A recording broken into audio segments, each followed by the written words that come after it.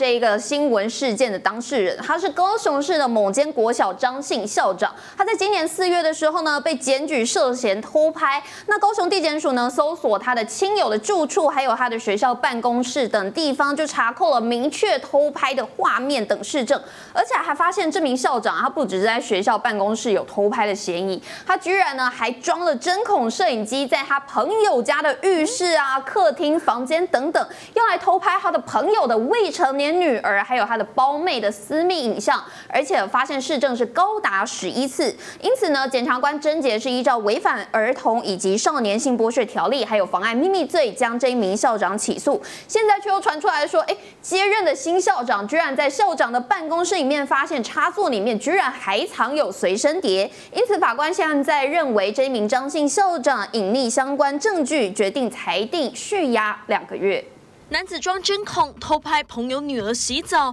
还把随身碟藏在办公室，这样的恶狼竟是国小校长。高雄市这名张姓校长今年四月被检举偷拍，高雄地检署发现他在朋友家浴室等处偷装多台针孔摄影机，切入朋友的未成年女儿私密性影像，连朋友的妹妹也不放过，偷拍高达十一次。检察官六月依违反儿少性剥削等罪，将张姓校长起诉并羁押。但更离谱的是，近日继任校长竟在国小办公室的插座发现一个。随身碟里面都是偷拍画面，法官男认张男有接受法律制裁的意愿，因此裁定续押两个月可抗告。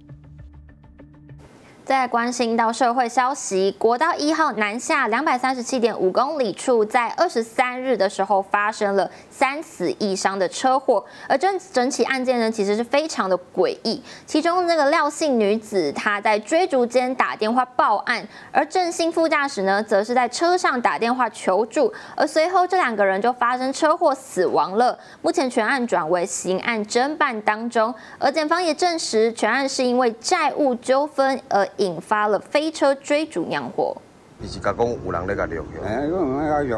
啊，我也没有起来讲去收费站，收费站取证。其实这样，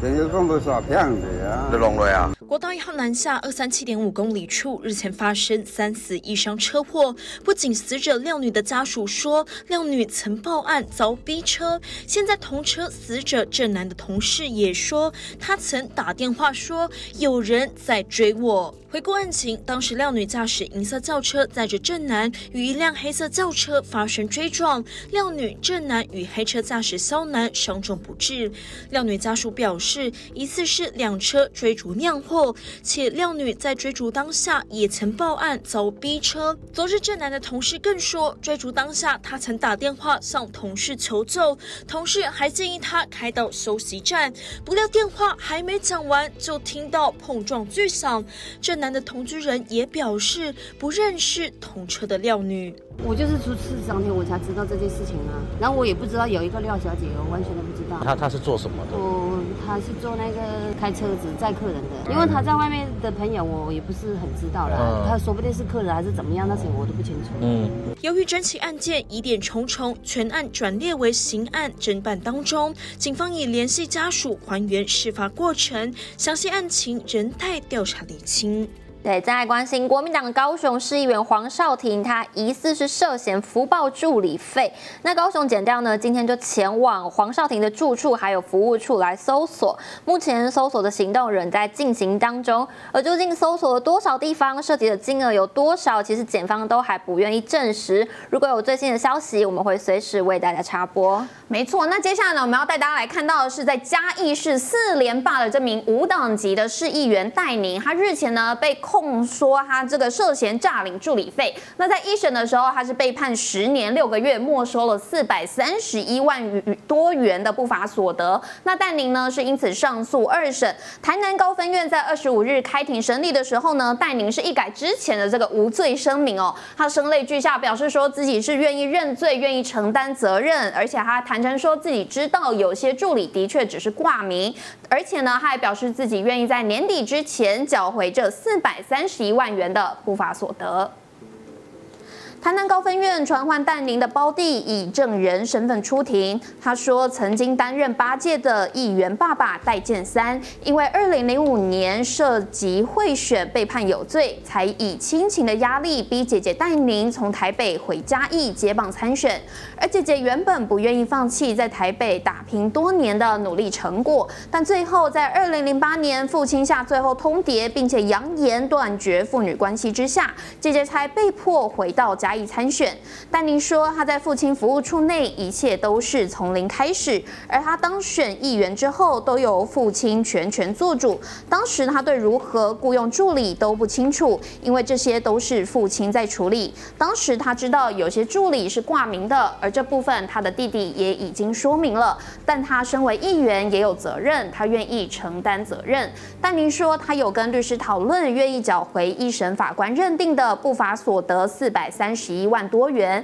但因为这笔钱对他而言并非小数目，希望法官可以宽限他在今年十二月底之前缴回这一笔钱。民进党昨天召开了中常会，党团总召柯建明就报告了国会的近况，还有总预算案被退回的事情。那民进党主席赖清德就做出了三点裁示，表示说，在现在的情势下，民进党必须要团结应对。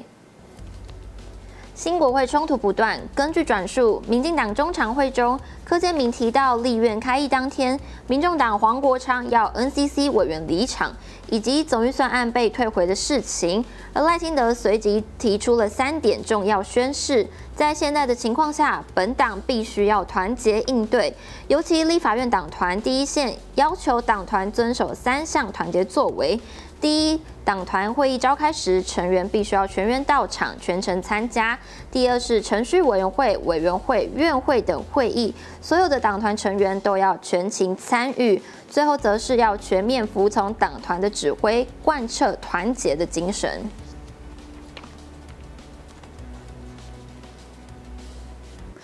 国台办在二十五日的时候召开了例行的记者会，那他们的发言人朱凤莲在记者会上就提到说，哎，这个福厦高铁啊，现在已经建到离台湾海峡最近的地方了，距离台湾岛只有两百公里。他还说，相信呢，在两岸同胞的努力之下呢，这两百公里的距离将会清零，到时候两岸民众坐着高铁过海峡的梦想就会实现。大陆已经建成了世界上最大的高速铁路网和先进铁路网，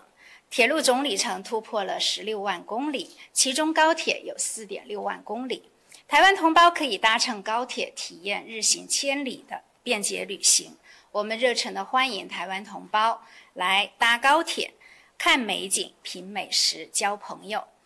那值得一提的是，福厦高铁呢，已经建到了离台湾海峡最近的地方。离台湾岛只有二百公里，相信在两岸同胞的共同努力下，这二百公里的距离会清零，两岸同胞乘着高铁过海峡的梦想会实现。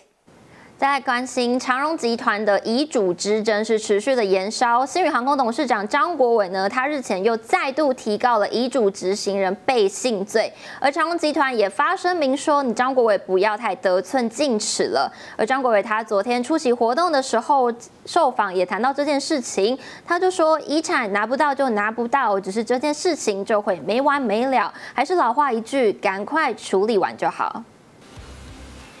张国伟表示，遗产是家族个人的事情，跟新宇航空没有关系，只是要拿回父亲给他的遗产。不懂为什么不愿意给，霸占在那里，还被说是得寸进尺。基本上已经确定遗产是正确的，还是老话一句，赶快处理完就好。张国伟也说，他从头到尾想法都一样。大家依法行事就好，拖拖拉拉讲一大堆也没有意义，也已经表达过善意了。毕竟大家都是兄弟，也不用去琢磨太多，一切都是尊重，也依照特留分的比例来分配就好。